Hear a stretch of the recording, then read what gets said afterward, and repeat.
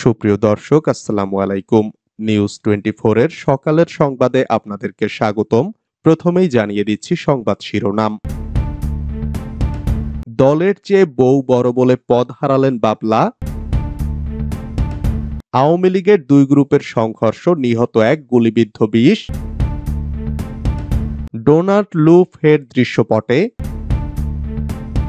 শিক্ষা নিয়ে গভীর ষড়যন্ত্র চলছে, যা বললেন ইসলামী আন্দোলনের নেতা। নির্বাচনী এলাকায় উন্নয়ন ২০ কোটি টাকা করে পাবেন সংসদ সদস্যরা। আওয়ামী লীগ বিরোধী দল নিশ্চিহ্ন করতে চায় মন্তব্য মঈন খানের। শুনছিলেন সংবাদ শিরোনাম। পুরো খবর পেতে ভিডিওটি শেষ পর্যন্ত দেখুন। সর্বশেষ সংবাদ পেতে চ্যানেলটি সাবস্ক্রাইব করুন। এবার বিস্তারিত।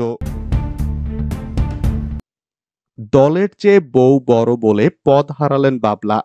জাতীয় পার্টির চেয়ারম্যান জি এম কাদেরকে উদ্দেশ্য করে রবিবার দুপুরে সংবাদ সম্মেলনে কথা বলেন দলটির কো চেয়ারম্যান সৈয়দ আবু হোসেন বাবলা। তখন তিনি বলেন, এমন একজন আছেন যার কাছে দলের চেয়ে বউ বড়, এরকম অতিরিক্ত মাংসপিণ্ড আমাদের দরকার নেই। দলের চেয়ারম্যানকে নিয়ে এমন মন্তব্যের কয়েক ঘণ্টা পরেই বাবলাকে জাতীয় পার্টি থেকে অব্যাহতি প্রদান করা হয়েছে।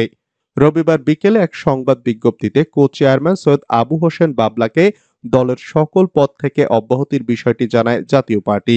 দলটির যুগ্ম দপ্তর সম্পাদক মোহাম্মদ আলম স্বাক্ষরিত ওই সংবাদ বিজ্ঞপ্তিতে বলা হয়েছে, জাতীয় পার্টির চেয়ারম্যান জি এম কাদের গঠনতন্ত্রে প্রদত্ত ক্ষমতা বলে। সৈয়দ আবু হোসেন বাবলাকে দলের কো চেয়ারম্যান সহ সকল সাংগঠনিক পদ থেকে অব্যাহতি প্রদান করেছেন, যা ইতোমধ্যে কার্যকর করা হয়েছে বলেও জানিয়েছেন মাহমুদ আলম। দুপুরে সংবাদ সম্মেলনে আগামী নয় মার্চ জাতীয় পার্টির দশম কাউন্সিলের ঘোষণা দিয়েছে রওশনপন্থীরা। আওয়ামী লীগের দুই গ্রুপের সংঘর্ষ নিহত এক গুলিবিদ্ধ বিষ। বাগেরহাটের মোল্লাহাট উপজেলায় আওয়ামী লীগের দুই গ্রুপের সংঘর্ষে পান্না মোল্লা নামে এক কৃষক নিহত হয়েছে। এছাড়া অন্তত বিশ জন গুলিবিদ্ধ হয়েছে। এদের মধ্যে পুলিশের তিন এসআই সহ ছয় পুলিশ সদস্য রয়েছে।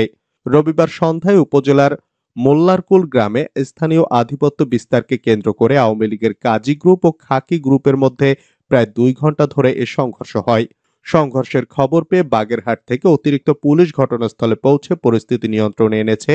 সংঘর্ষে জড়িত থাকায় চারজনকে গ্রেপ্তার করেছে পুলিশ। পুলিশ ঘটনাস্থল থেকে মোল্লারকুল গ্রামের তৈয়াব মোল্লার ছেলে নিহত পান্না মোল্লার লাশ উদ্ধার করে রাতে মোল্লাহাট থানায় নিয়ে এসেছে। গুলিবিদ্ধ পুলিশ সদস্য সহ আহত অন্যদের মোল্লাহাট উপজেলা হাসপাতালে পাঠানো হয়েছে। উভয় গ্রুপের মধ্যে ফের সংঘর্ষের আশঙ্কায় এলাকায় অতিরিক্ত পুলিশ মোতায়েন করা হয়েছে। ডোনাল্ড লু ফের দৃশ্যপটে, রোহিঙ্গা সংকট ও মিয়ানমারে চলমান অস্থিরতা নিয়ে বাংলাদেশ ও ভারতকে সতর্ক করেছেন যুক্তরাষ্ট্রের দক্ষিণ ও মধ্য এশিয়া বিষয়ক সহকারী পররাষ্ট্রমন্ত্রী ডোনাল্ড লু সম্প্রতি তিনি ওয়াশিংটন ভিত্তিক think tank US Institute of পিসে বক্তব্য রাখেন। সেখানে মার্কিন প্রেসিডেন্ট জো বাইডেন প্রশাসনের ইন্দো প্যাসিফিক কৌশলের দুই বছর পূর্তি উপলক্ষে State Department National Security Council এবং পেন্টাগনের অন্যান্য প্রশাসনিক কর্মকর্তাদের সঙ্গে নানা বিষয়ে আলোচনা করেন তিনি। সে সময় তিনি বলেন, মিয়ানমার পরিস্থিতির সহসাই উন্নতি হচ্ছে না। এ কারণে বাংলাদেশ ও সম্ভবত ভারতের জন্য যে শরণার্থী সংকট ও নিরাপত্তা সমস্যা তৈরি হচ্ছে তা সামনে আরও গভীর হতে পারে, হিন্দুস্তান টাইমসের এক রিপোর্টে এ খবর দেয়া হয়েছে। ডোনাল্ড লু বলেন, আমি বাংলাদেশ ও সেখানে থাকা রোহিঙ্গা শরণার্থী এবং বার্মায় চলমান অস্থিরতা এই অঞ্চলের জন্য কীভাবে প্রভাব ফেলতে পারে তা নিয়ে অনেক সময় ব্যয় করেছি। দশ লাখেরও বেশি রোহিঙ্গার জন্য ঢাকা যে উদারতা দেখিয়েছে, তাকে সমর্থন দিতে যুক্তরাষ্ট্র বাংলাদেশের সঙ্গে উল্লেখযোগ্য কাজ করেছে। অসাধারণ এই উদারতা দেখানোর জন্য আমি বিশ্বের সবচেয়ে বড় শরণার্থী শিবির কক্সবাজার পরিদর্শনে গিয়েছিলাম। আমি এসব শরণার্থীদের নিজ দেশে ফেরানোর জন্য আন্তর্জাতিক সম্প্রদায়গুলোর একসঙ্গে কাজ করার ইচ্ছাও প্রত্যক্ষ করেছি। এরপরেই লু উদ্বেগ জানিয়ে বলেন, তবে বার্মার পরিস্থিতির কোনো উন্নতি হচ্ছে না। এতে করে বাংলাদেশ ও সম্ভবত ভারতের জন্য শরণার্থী সংকট ও নিরাপত্তা সমস্যা তৈরি হচ্ছে। এই সমস্যা সামনে আরও গভীর হতে পারে। এ নিয়ে আমাদের চোখ খোলা রাখতে হবে এবং এই অঞ্চলে বাংলাদেশ ও ভারতের মতো আমাদের অংশীদারদের সমর্থন করতে হবে যাতে করে তারা তাদের দেশের অভ্যন্তরে অস্থিতিশীলতা বাড়তে না দিয়ে এই চ্যালেঞ্জগুলো মোকাবেলা করতে পারে। শিক্ষা নিয়ে গভীর ষড়যন্ত্র চলছে মন্তব্য ইসলামী আন্দোলনের। শিক্ষা নিয়ে গভীর ষড়যন্ত্র চলছে বলে মন্তব্য করেছেন ইসলামী আন্দোলন বাংলাদেশের সিনিয়র নায়েবে আমির মুফতি সৈয়দ মোহাম্মদ ফয়জুল করিম। রোববার বিকালে ইসলামী ছাত্র আন্দোলন বাংলাদেশ বরিশাল বিশ্ববিদ্যালয় শাখার সম্মেলনে এ মন্তব্য করেন তিনি। সম্মেলন শেষে হাসান মাহমুদকে সভাপতি হাসিবুল হোসেনকে সহসভাপতি আবু সালে মোহাম্মদ হাসিবুল্লাহকে সাধারণ সম্পাদক করে বরিশাল বিশ্ববিদ্যালয় ক্যাম্পাস কমিটি ঘোষণা করা হয়। ফয়জুল করিম বলেন, শিক্ষা থেকে ইসলাম ও ধর্মীয় মূল্যবোধ তুলে নিয়ে হিন্দুত্ববাদে ধাবিত করার সকল ষড়যন্ত্র চূড়ান্ত। বর্তমান শিক্ষামন্ত্রীও একজন হিন্দু প্রেমিক। তিনি নিজেও বলেছেন আমি রামকৃষ্ণ স্কুলে পড়েছি। উগ্রবাদী সংগঠন ইসকনের সদস্য শিক্ষামন্ত্রী। এমন ব্যক্তিদের দ্বারা কখনো মুসলমানদের স্বার্থ রক্ষা হবে না। শিক্ষা কারিকুলামের অসঙ্গতি দূর করতে না পারলে ভবিষ্যৎ প্রজন্ম ধ্বংস হবে এতে কোনো সন্দেহ নেই। আমরা আমাদের সন্তানদেরকে কুশিক্ষার হাত থেকে রক্ষা করে সুশিক্ষায় শিক্ষিত করতে চাই। বিশ কোটি টাকা করে পাবেন সংসদ সদস্যরা। স্থানীয় সরকার, পল্লী উন্নয়ন ও সমবায় মন্ত্রী তাজুল ইসলাম বলেছেন, সংসদ সদস্যরা নিজ নিজ এলাকায় উন্নয়নের জন্য মানুষের কাছে অনেক অঙ্গীকার করেন, এটাই স্বাভাবিক। স্বাভাবিকভাবে সেসব অঙ্গীকার পূরণ করার জন্য সংসদ সদস্যদের যেমন আগ্রহ, তেমনি প্রধানমন্ত্রী বিষয়টি অত্যন্ত আন্তরিকভাবে অনুধাবন করেছেন। তিনি প্রতিজন এমপির নির্বাচনী এলাকার জন্য বিশ কোটি টাকা দেওয়ার একটি প্রকল্প প্রণয়ন করেছেন, এটি চলমান। এ প্রকল্প শেষ হলে বা এমপিদের নির্বাচনী এলাকার উন্নয়ন অঙ্গীকার পূরণে আবারও নতুন করে প্রকল্প নেওয়ার কথা বিবেচনা করা হবে। আওয়ামী লীগ বিরোধী দল নিশ্চিহ্ন করতে চায় মন্তব্য মঈন খানের। বাংলাদেশের স্বাধীনতা সার্বভৌমত্ব আওয়ামী লীগের হাতে নিরাপদ নয় বলে মন্তব্য করেছেন বিএনপির স্থায়ী কমিটির সদস্য ডক্টর আব্দুল মঈন খান। তিনি বলেছেন, গণতন্ত্রে বিশ্বাস করে না বলেই আওয়ামী লীগ সব বিরোধী দলকে নিশ্চিহ্ন করে দিতে চায়। রবিবার শেরে বাংলা নগরে বিএনপির প্রতিষ্ঠাতা জিয়াউর রহমানের কবরে পুষ্পমাল্য অর্পণের পর সাংবাদিকদের প্রশ্নের জবাবে দলের স্থায়ী কমিটির সদস্য এই মন্তব্য করেন। আব্দুল মঈন খান বলেন, আওয়ামী লীগ ক্ষমতা দখল করার জন্য, কুক্ষিগত করার জন্য তারা বিচার বিভাগকে কুক্ষিগত করেছে, তারা সংসদকে কুক্ষিগত করেছে। তারা বিরোধী দলকে নিশ্চিহ্ন করে দিতে চায়। এটাই হচ্ছে আওয়ামী লীগের মানসিকতা। মূল কথা হচ্ছে, সরকার গণতন্ত্রে বিশ্বাস করে না বলেই তারা এদেশ থেকে বিরোধী দলকে নিষিদ্ধ করতে চায়। কবে নাগাদ রাজপথে আন্দোলনের কর্মসূচি দেবেন প্রশ্নে যা বললেন ফখরুল।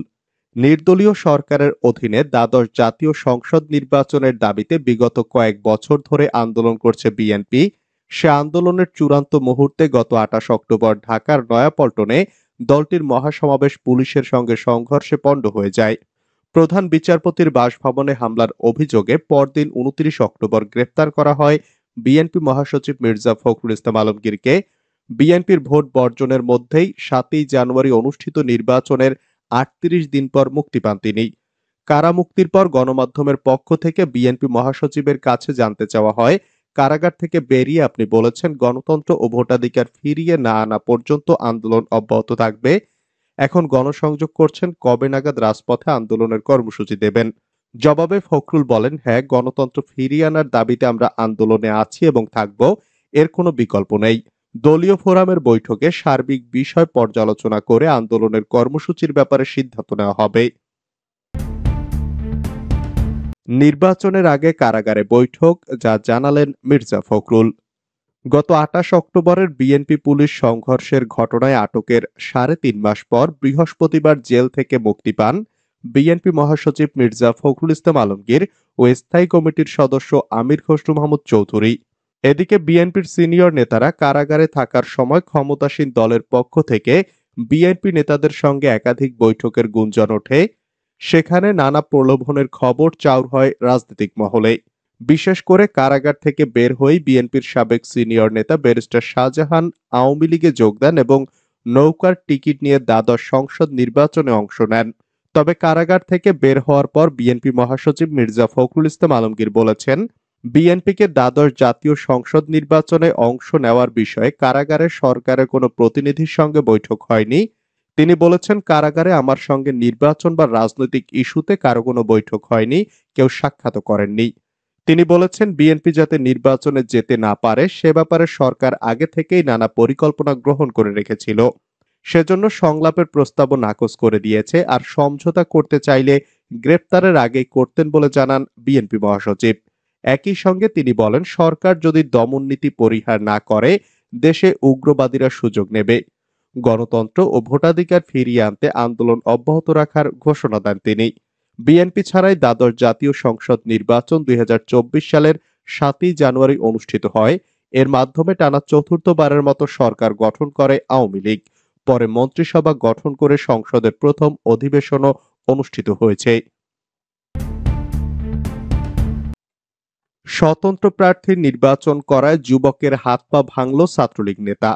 দ্বাদশ জাতীয় সংসদ নির্বাচনে ইগল প্রতীকের স্বতন্ত্র প্রার্থীর নির্বাচন করায় পিরোজপুরের ইন্দুরকানীতে বরুণশীল নামের এক যুবককে পিটিয়ে হাত ও পা ভেঙে দেওয়ার অভিযোগ উঠেছে উপজেলা ছাত্রলীগের যুগ্ম সম্পাদক সালাউদ্দিন সুমনের বিরুদ্ধে।